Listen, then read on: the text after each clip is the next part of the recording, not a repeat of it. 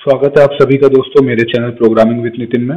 आज इस वीडियो में मैं आपको एक ऐसी वेबसाइट एक ऐसी एप्लीकेशन के बारे में बताऊँगा, जिसको यूज़ करके आप अपनी ऑनलाइन मीटिंग्स और ऑनलाइन क्लासेस के अंदर कुछ क्रिएटिव कर सकते हैं। जैसे आपको पता है कि जो मीटिंग्स होती है, जो ऑनलाइन क्लासेस होती हैं, ये बहुत ज़्यादा बोरिंग होती है पार्टिसिपेंट्स के लिए। तो उनका जो ध्यान है, वो आपकी क्लास में और आपकी मीटिंग में लगा रहे और इस टेक्निक से आपको भी पता चल जाएगा कि जो आपके पार्टिसिपेंट्स हैं, वो आपकी मीटिंग में है मतलब वो आपकी मीटिंग में है और वो आपको ध्यान से सुन रहे हैं कि नहीं सुन रहे हैं। जैसे आप छोटे छोटे क्वेश्चन जो है, उनसे पूछ सकते हैं और उनसे क्वेश्चन पूछ के और उनसे आंसर को कलेक्ट करके आप रिज़ल्ट भी डिस्प्ले कर सकते हैं कि इतने लोगों ने जो है वो सही आंसर दिया है, इतने लोगों ने जो है वो गलत आंसर दिया है। तो इस तरह की जो प्रोसीजर होती है, इसको बेसिकली आप सभी लोग जानते हैं, इसे पोलिंग कहा जाता है। ठीक है पोलिंग का मतलब होता है कि आप पार्टिसिपेंट्स को एक क्वेश्चन दिखाएँगे और उसके आप कुछ ऑप्शंस दिखाएँगे। और उन ऑप्शंस में से कोई एक ऑप्शन जो कि सही होता है, अगर उस पर ज़्यादा लोगों ने वोट किया, इसका मतलब जो आपके पार्टिसिपेंट की मीटिंग को ध्यान से सुन रहे हैं, आपकी क्लास को ध्यान से सुन रहे हैं, और अगर मोस्टली पार्टिसिपेंट्स ने गलत आंसर दिया, इसका मतलब उन लोगों को कुछ भी समझ में नहीं आ रहा तो पोलिंग का जो कॉन्सेप्ट होता है, ये सिर्फ़ ये जानने के लिए होता है कि जो आपके पार्टिसिपेंट्स हैं, वो आपकी बातों को सुन रहे हैं, ध्यान से कि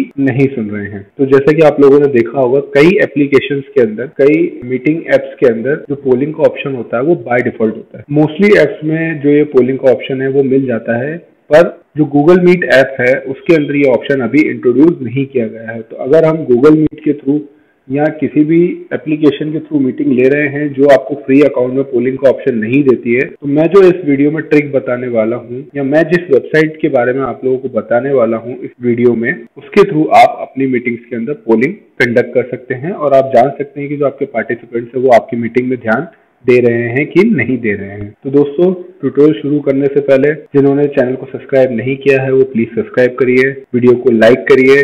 अगर आपको लगता है कि हम लाइक क्यों करें बिना देखे वीडियो को तो आप वीडियो को एंड तक देखिए और अगर आपको ये चीज़ पसंद आती है तो आप इसे लाइक करिए। वीडियो को ज़्यादा से ज़्यादा शेयर करिए ताकि जो फ़ायदा आपको मिल रहा है, वो दूसरों को भी मिले और वो लोग भी इस वीडियो से कुछ सीख सके। तो चलिए दोस्तों, शुरू करते हैं ट्यूटोरियल सबसे पहले आपको क्या करना है, आपको अपना ब्राउज़र ओपन कर लेना है। यहाँ पे आपको लिखना है वी वॉक्स डॉट कॉम ठीक है? और एंटर प्रेस कर देना है। जैसे ही आप ये करेंगे, यहाँ पे वेबसाइट ओपन हो जाएगी। अब इस वेबसाइट की खास बात यह है कि ये आपको क्वेश्चन आंसर्स और पोलिंग जनरेट करने के लिए हेल्प करती है फ्री ऑफ़ कॉस्ट ठीक है?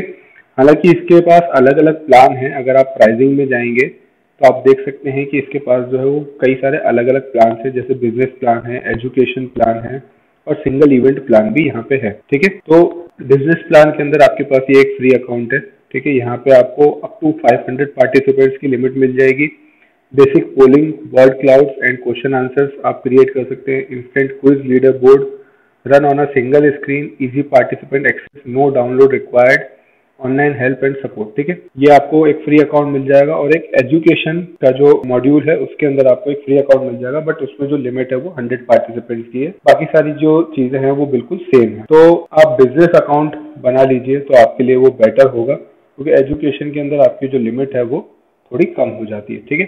तो बिज़नेस अकाउंट अगर आप बना लेंगे तो आपके लिए वो एकदम परफेक्ट रहेगा। अब अकाउंट कैसे बनाना है, वो मैं आपको इस वीडियो में बता रहा हूँ, ठीक है? तो एक एक स्टेप करके मैं आपको सारी चीज़ें बताऊँगा। आप यहाँ पे अकाउंट कैसे बनाएँगे, कैसे यूज़ करेंगे, सारी चीज़ें मैं आपको बताऊँगा और थोड़ा जल्दी जल्दी बताने की कोशिश करूँगा ताकि ये जो वीडियो है, ये छोटा रहे, ज़्यादा लेंदी ना हो जाए, ठीक है? आपको एक वापस बता दे रहा हूँ। प्राइसिंग सेक्शन में जाके बिज़नेस अकाउंट के ऊपर क्लिक करके आपको साइन अप फॉर फ्री के ऊपर क्लिक करना है, ठीक है? जैसे ही आप साइन अप के ऊपर क्लिक करेंगे, वो आपसे यहाँ पे एक ईमेल आईडी और पासवर्ड इंसर्ट करने के लिए बोलेगा क्योंकि आप एक नया अकाउंट क्रिएट कर रहे हैं। तो जैसा कि आप देख सकते हैं, मैं यहाँ पे एक ईमेल आईडी एंटर कर रहा हूँ। ठीक है ईमेल आईडी आपको दिखाई नहीं दे रही है, मुझे पता है, क्योंकि आपको अपनी ईमेल आईडी यहाँ पे इंसर्ट करनी है। ठीक है, और पासवर्ड आप कुछ भी नया क्रिएट कर सकते हैं यहाँ पे, जो आप याद रख सके। ठीक है, इतना करने के बाद आपको क्रिएट के ऊपर क्लिक करना है। जैसे ही आप ये करेंगे, यहाँ पे अब वो आपसे नाम पूछेगा तो आप यहाँ पे नाम दे दीजिए। ठीक है, यहाँ पे अब आपको एक ऑप्शन दिखाई देगा आई वॉन्ट टू यूज़ वीवर्क फॉर बिज़नेस और एजुकेशन तो आप यहाँ पे बिज़नेस करके कंपनी के अंदर लिख दीजिए माई कंपनी ठीक है? और यूआरएल के अंदर आप अपना यूआरएल सेट कर लीजिए। आप चाहे तो आप अपना नाम भी लिख सकते हैं, जैसे कि मैंने यहाँ पे लिख दिया है, ठीक है? अब जैसे ही आप नाम लिखेंगे, वो आपको दो चीज़ें बताएगा। एक तो अगर वो अवेलेबल होगा तो आपको अवेलेबल बता देगा, ठीक है? ब्लू कलर का हो जाएगा, और अगर अवेलेबल नहीं होगा तो वो आपको रेड कलर से एरर शो करेगा। जैसे ही आपको नाम मिल जाए तो आप उसे यूज़ कर लीजिए। जैसे ही वो आपको एरर देना बंद करे, आप उस नाम को यूज़ कर लीजिए। इतना करने के बाद आपको टाइटल में लिखना है। आप यहाँ पे लिख दीजिए ओनर ठीक है? यहाँ पे फ़ोन नंबर आप डाल दीजिए, ठीक है? और यहाँ पे आप कंट्री सिलेक्ट कर लीजिए, ठीक है? कंट्री सिलेक्ट करने के बाद आपको कंप्लीट अकाउंट सेटअप के ऊपर क्लिक करना है। इतना करने के बाद आपने जिस नाम से यूआरएल सेट करी थी, आप देखेंगे यहाँ पे ऊपर की उस नाम से जो है यूआरएल ये बन चुकी है, ठीक है? और उसी के नीचे ये जो नया पेज ओपन हुआ है, यहाँ पे लिखा हुआ है you must verify your email address और your Vevox account will be deactivate ठीक है? तो आपको यहाँ से क्या करना है? पहले इस अकाउंट को एक्टिवेट करना है। तो आपने जो जीमेल आईडी यूज़ करी थी, आपको वो जीमेल अकाउंट को ओपन करना है। ठीक है? जीमेल अकाउंट पे आप जैसे ही जाएँगे, आप देखेंगे वीवॉक्स की तरफ़ से आपको एक मेल आया होगा, आप उस मेल को ओपन करेंगे। तो इस तरह से उसमें वेरीफाई माई अकाउंट का एक बटन होगा, आप उसके ऊपर क्लिक करेंगे। तो आपका जो अकाउंट है, वो वेरीफाई हो जाएगा। ठीक है? अब देखिए, जैसे ही आपने वेरीफाई करा तो ये पेज वापस से ओपन हुआ अब आपको कोई मैसेज यहाँ पे येलो कलर में नहीं दिखाई दे रहा। ठीक है? अब आपके पास यहाँ पे दो टैब हैं। एक तो मीटिंग टैब है और दूसरा अकाउंट टैब है। ठीक है? अकाउंट टैब के अंदर वो आपको अपग्रेड करने का ऑप्शन देगा और मीटिंग्स के अंदर आप जितनी मीटिंग्स क्रिएट करेंगे, आप यहाँ पे पहले से ही मीटिंग क्रिएट करके रख सकते हैं।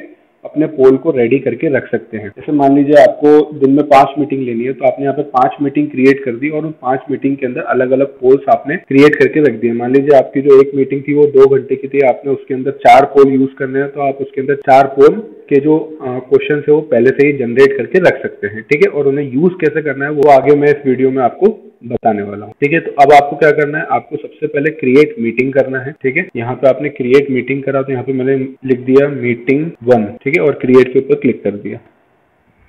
तो ये मीटिंग क्रिएट हो गई है। अब आप क्या कर सकते हैं, आप यहाँ से इस मीटिंग के ऊपर जब आप क्लिक करेंगे तो ये जो मीटिंग है, ये एक नए पेज पे ओपन हो जाएगी, ठीक है? इस तरह का इंटरफेस आपको मिल जाएगा। ठीक है, यहाँ पे आपको कुछ ऑप्शंस मिल जाएँगे। डेट आपको मिल जाएगी मीटिंग का नाम आपको मिल जाएगा मीटिंग की आईडी आपको मिल जाएगी, ठीक है? यहाँ से आप मीटिंग की इंफॉर्मेशन कॉपी करके किसी भी यूज़र को भेज सकते हैं, किसी भी पार्टिसिपेंट को भेज सकते हैं, ठीक है? तो आपको बता दूँगा इसको प्ले कैसे करवाना है, आपके पार्टिसिपेंट्स कैसे इसको यूज़ कर पाएँगे तो वो भी मैं आपको बताऊँगा, ठीक है? तो ये आपकी जो मीटिंग है, ये ओपन हो गई है, यहाँ पे आपको तीन बटन मिल जाएँगे पॉज प्ले और स्टॉप का, ठीक है? अभी आप देख सकते हैं आपकी जो मीटिंग स्टेटस है, वो वेटिंग है। Start the meeting to enable polling जब आप स्टार्ट करेंगे, तभी वो इस पोल को प्ले कर पाएँगे, ठीक है? अगर आपने इसको पॉज करके रखा होगा तो कोई भी आपका जो पार्टिसिपेंट है, वो इस पोल को प्ले नहीं कर सकता। पोल के जो आंसर है, वो सबमिट नहीं कर सकता, ठीक है? अब यहाँ लेफ़्ट हैंड साइड पे आपके पास देखिए पोल्स का ऑप्शन है और क्वेश्चन एंड आंसर का ऑप्शन है, ठीक है? हमें अभी पोल्स का ही यूज़ करना है। तो यहाँ पे जो पोल्स ऑप्शन है, वो बाय डिफ़ॉल्ट सिलेक्टेड है। यहाँ पे आप देखिए 500 कनेक्शन के साथ आप इसे प्ले कर सकते हैं। यहाँ पे पोल्स सेक्शन के अंदर आपको क्रिएट न्यू पोल्स का ऑप्शन मिल जाएगा, इसके ऊपर आपको क्लिक करना है। ठीक है, जैसे ही आप क्लिक करेंगे तो यहाँ पे क्वेश्चन लिखने के लिए स्पेस आ जाएगी, यहाँ पे लिख दिया मैंने। If I am a human so is it possible that I have four eye ठीक है, इस तरह से मैंने ये क्वेश्चन लिख दिया है यहाँ पे, जो पोल में पार्टिसिपेंट्स को दिखाई देगा। ठीक है, यहाँ पे अब मुझे चॉइसेस एंटर करने का ऑप्शन आ रहा है तो मैंने लिख दिया यस और नो यस और नो लिखने के बाद यस नो और मे बी मैंने यहाँ पे तीन ऑप्शन लिख दिए तो आप देख सकते हैं यहाँ पे तीन ऑप्शंस मेरे पोल में आ गए हैं। यहाँ से मैं करेक्ट आंसर के ऊपर टिक कर दूँगा और यहाँ से जो करेक्ट आंसर है, उसे मैं सिलेक्ट कर लूँगा। ठीक है? तो मैंने यहाँ से करेक्ट जो है नो का जो ऑप्शन है, उसे मैंने सिलेक्ट कर लिया है। ठीक है? अब इसके बाद मुझे परसेंटेज कैसे दिखाई देंगे रिज़ल्ट कैसा दिखाई देगा, उसके लिए यहाँ पे ऑप्शन है। तो मैंने यहाँ पे ऑप्शन सिलेक्ट कर लिया है और सेव कर दिया है। ठीक है? तो ये जो है, ये हमारा पोल जो है, वो रेडी हो गया है यहाँ पे। अब आप देख सकते हैं कि यहाँ पे जब हमने इसे ऐड कर दिया है तो यहाँ पे तीन ऑप्शन आ गए डिलीट करने का एडिट करने का और कॉपी करने का। ठीक है? यहाँ पे तीन ऑप्शन आ गए और यहाँ पे एक ये टिक करने का ऑप्शन भी आ गया है। अगर आप सारे पोल एक साथ डिलीट करना चाहते हैं, अगर आपके मीटिंग के अंदर बहुत सारे पोल्स हो तो आप उनको सबको एक साथ यहाँ से सिलेक्ट करके यहाँ से डिलीट भी कर सकते हैं। ठीक है? तो ये जो है, ये आपका पोल क्रिएट हो गया है। यहाँ पे आप एक से ज़्यादा पोल क्रिएट कर सकते हैं। जैसा कि मैंने आपको बताया था कि यहाँ पे आप एक से ज़्यादा पोल जो है, वो क्रिएट कर सकते हैं। कैसे क्रिएट करना है, वो मैं आपको बता दे रहा हूँ। ठीक है, यहाँ पे एक पोल तो मैंने क्रिएट कर लिया। अब मैं यहाँ से एक और पोल क्रिएट कर लेता हूँ। यहाँ पे मैंने क्वेश्चन लिख दिया। I am a human so can I fly so may I able to fly ठीक है, ये मैंने यहाँ पे क्वेश्चन लिख दिया है। यहाँ पे मैंने चॉइस कर दी है यस नो मे बी ठीक है करेक्ट आंसर के ऊपर टिक कर दिया है और नो कर दिया है। मे बी को टिक कर दिया है नो को हटा दिया है। और यहाँ पे इस पोल को मैंने ऐड के ऊपर क्लिक करके ऐड कर दिया है। ठीक है? तो ये दो पोल मेरे मीटिंग के अंदर आ गए हैं। ठीक है? अब कैसे मुझे इन्हें प्रेजेंट करना है वो मैं आपको बता देता हूँ। पार्टिसिपेंट्स को कैसे प्रेजेंट करना है बेसिकली तो प्रेजेंट करने के लिए आपको क्या करना है? आपको यहाँ से पहले इसे प्ले करना है। ठीक है? अब ये जो पोल है, ये आपका स्टार्ट हो गया है। ठीक है? अब जैसा कि आप देख सकते हैं, यहाँ पे आपको प्रेजेंट का बटन दिखाई दे जाएगा। अब इस प्रेजेंट के ऊपर क्लिक करेंगे तो यहाँ पे आपको आएगा display and control your polls and question answers all from this device you have to connected to a projector और another screen yet open in a new browser tab ठीक है? तो अब अगर आप मीटिंग में हैं और मीटिंग में अगर आप इसको शो करना चाहते हैं तो आप यहाँ से ओपन इन न्यू ब्राउज़र कर सकते हैं। ठीक है? तो ये देखिए जो पोल है, ये इस तरह से यहाँ पे आपको दिखाई देने लग जाएगा। ठीक है? तो जैसे ही ये जो स्क्रीन है दिखाई देने लगेगी आपकी मीटिंग में तो आपके पार्टिसिपेंट्स को क्या करना है, इस यू पे उनको ज्वाइन करना है, ठीक है? वीवॉक्स डॉट ऐप उन्हें ओपन करना है और ये आईडी इंसर्ट करनी है। अब आपको मैं एक नए टैब में करके बता दे रहा हूँ वीवॉक्स डॉट ऐप तो वी वॉक्स डॉट ऐप मैंने ओपन करा, ठीक है? पार्टिसिपेंट्स को डायरेक्टली वेब ब्राउज़र का यूज़ करके इस चीज़ को ओपन कर लेना है। जैसे ही वो वीवॉक्स डॉट ऐप ओपन करेंगे, इस तरह का इंटरफेस उनको मोबाइल पे दिखाई दे जाएगा, ठीक है? वैसे इस वेबसाइट की एक एप्लीकेशन भी है जिसका वो यूज़ कर सकते हैं बट एप्लीकेशन अगर आप नहीं डाउनलोड करवाना चाहें अपने पार्टिसिपेंट्स को तो वो डायरेक्टली इस तरीके से इसको यूज़ कर सकते हैं, ठीक है? इतना करने के बाद ये जो आईडी है, ये आईडी उन्हें इंसर्ट करनी है one five three six five six and four five four इतना करने के बाद आपके पार्टिसिपेंट्स को ज्वाइन के ऊपर क्लिक करना है, ठीक है? तो देखिए, इस तरह का जो इंटरफेस है उनके सामने उनके मोबाइल पे आ जाएगा, ठीक है? अब देखिए वो लोग मीटिंग में आ गए हैं। अब आपको क्या करना है? आपको यहाँ से प्ले के ऊपर क्लिक करना है। ओपन पोल कर दिया है। तो ये इस तरह से जो आपका पोल है यहाँ पे दिखने लग जाएगा। If I am human so it is possible that I have four eyes यहाँ पे देखिए ये पोल यहाँ पे इस तरह से उनकी जो डिवाइस है, वहाँ पे दिखने लग जाएगा। Selecting a choice will automatically send it ठीक है? यहाँ पे जैसे ही मैंने सिलेक्ट करा तो ये सेंड हो गया है। ठीक है? तो यहाँ पे आप देख सकते हैं कि एक पर्सन ने इस पोल को अटेम्प्ट कर लिया है। ठीक है? ये देखिए। शो रिज़ल्ट अगर मैं करता हूँ तो यहाँ देखिए, एक पर्सन ने ये जो पोल है, इसे अटेंड कर लिया है। इसी तरीके से जितने लोग भी इस पोल को जैसे ही अटेंड करेंगे, आपके पास जो आंसर है, वो सबमिट होते जाएँगे, ठीक है? ये आपका पहला क्वेश्चन हो गया। अब आपको इसको एंड करना है क्लोज करना है इस पोल को तो आप इसको यहाँ से क्लोज कर दीजिए, ठीक है? तो आपकी स्क्रीन पे जो रिज़ल्ट दिखाई देगा, आपकी मीटिंग के थ्रू आपके पार्टिसिपेंट्स को वो रिज़ल्ट जो है, वो दिखाई दे जाएगा, ठीक है? शो करेक्ट आंसर करके आप उन्हें बता सकते हैं कि करेक्ट आंसर कौन सा था।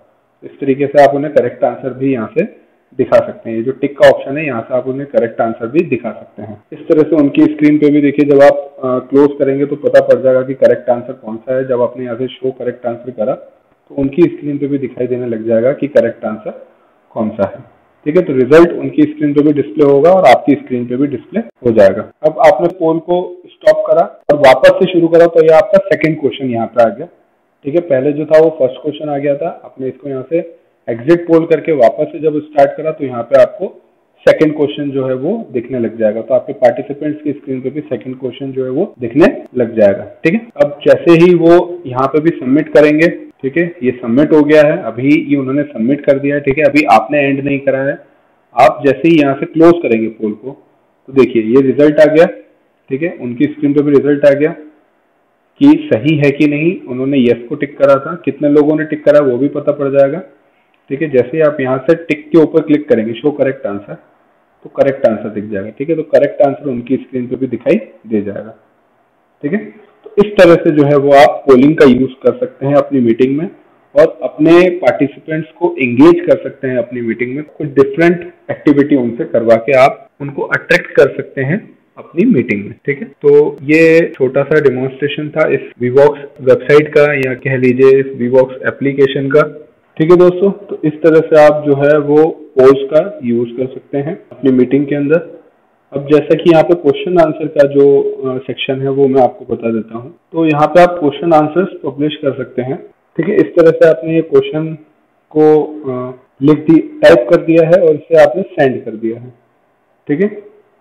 If my name is X then who is Y तो क्वेश्चन आंसर का जो सेक्शन होता है, वो बेसिकली कोई भी अनाउंसमेंट करने के लिए आप यूज़ कर सकते हैं। आपकी मीटिंग में अगर आपको कोई अनाउंसमेंट करना है तो आप क्वेश्चन आंसर सेक्शन का यूज़ करके अनाउंसमेंट कर सकते हैं। तो ये बेसिक यूज़ होता है क्वेश्चन आंसर का। आप इसे यहाँ से ऑफ़ भी कर सकते हैं तो आप देखेंगे कि यहाँ पे क्वेश्चन आंसर का जो सेक्शन है, वो चला गया है, ठीक है? तो क्वेश्चन आंसर बेसिकली आपके पर्पज के लिए है कि अगर आप कोई क्वेश्चन डिस्प्ले करवाना चाहते हैं अपने यूज़र्स को इस एप्लीकेशन के इंटरफेस के थ्रू तो आप क्वेश्चन आंसर स्टार्ट करके अपने क्वेश्चन को यहाँ से पुटअप कर सकते हैं, ठीक है? और अगर आप उनको बोल देंगे कि अगर आपको ये क्वेश्चन समझ में आया तो आप थम्सअप के ऊपर क्लिक करिए तो वो थम्सअप के ऊपर क्लिक कर सकते हैं, ठीक है? उसके बाद सर्वेज जो है वो यहाँ से ऑफ़ है, आप सर्वेज को चालू नहीं कर सकते हैं। यहाँ पे देखिए सर्वे का जो आइकन ये दिया हुआ है बट आपने जो अकाउंट बनाया है वो फ्री अकाउंट है तो आप यहाँ से सर्विस को स्टार्ट नहीं कर सकते हैं, ठीक है? अब यहाँ पे जो बाकी चीज़ें हैं, यहाँ पे डाटा और क्वेश्चन है, ठीक है? ये यहाँ आपकी पूरी मीटिंग का डाटा जो है वो दिखा देगा, कितने क्वेश्चन आंसर्स पूछे गए, कितने पोल्स क्रिएट करेगा ठीक है? तो ये सारे ऑप्शन यहाँ पे दिखा देगा सेटिंग्स में बेसिकली यहाँ पे मीटिंग के जो सेटिंग्स है वो आपको बता देगा, ठीक है? तो इस तरह से जो है वो आप पोल्स का यूज़ कर सकते हैं। अब अगर आपको अपने पोल को स्टॉप करना है तो आप यहाँ से इसे स्टॉप भी कर सकते हैं। तो कोई भी आपके पोल को एक्सेस अब नहीं कर पाएगा। ठीक है? ठीक है? अब आप देख सकते हैं, जैसे मैंने पोल को स्टॉप करा sorry unable to join the meeting please try again later ठीक है? तो ये जो पार्टिसिपेंट का इंटरफेस था, यहाँ से आपकी जो पोल की जो मीटिंग है, वो एंड हो चुकी है। ठीक है? अब ये जो आईडी है वर्क नहीं करेगी। ठीक है? तो ये आईडी आप बार बार भी यूज़ कर सकते हैं, अगर आपने ये मीटिंग बना के रखी हुई है।